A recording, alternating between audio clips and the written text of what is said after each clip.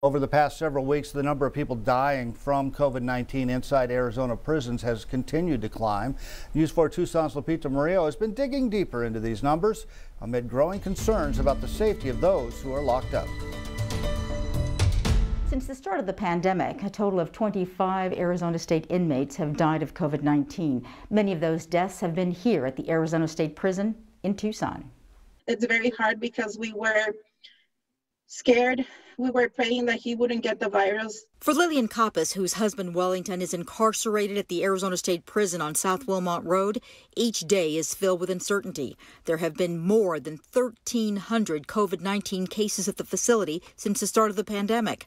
10 inmates there have died. Since the beginning, he told me, and like at the beginning of April, I remember him telling me I am going to get it because it's impossible to social distance in prison. It is just impossible. COVID 19 has hit Arizona prisons hard.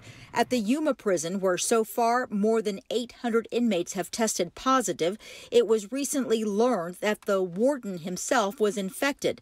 He later died from the illness.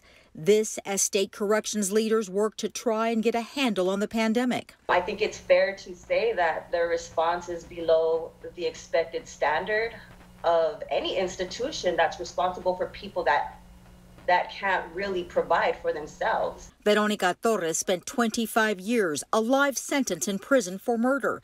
She now works with the Puente Human Rights Movement. Torres knows firsthand what life is like on the inside. Now, with the pandemic, she says a bad situation has only gotten worse. When prisoners try to grieve the medical process or the COVID conditions in the facility, the grievances would disappear, um, and it's impossible for anyone on the inside, you know, to be heard making things even more difficult, as is the case with hospitals and nursing homes.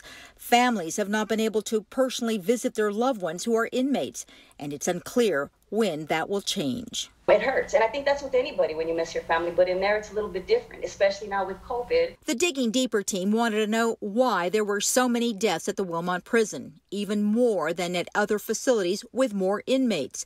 In an email, a correction spokesperson told us, quote, ASPC Tucson has some units that are medical facilities that house inmates with more significant medical issues and needs. All inmate deaths are investigated in consultation with the county medical examiner's office.